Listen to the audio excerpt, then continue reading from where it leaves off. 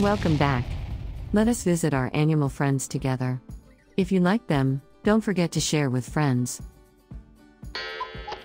The brown winged whistling thrush, also known as the Sumatran whistling thrush or chestnut winged whistling thrush, is a passerine bird belonging to the whistling thrush genus Myophonus and the family Muscicapidae.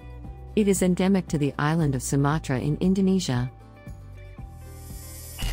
Thank you for your visit. And I will be waiting for your next visit. Till then, have fun.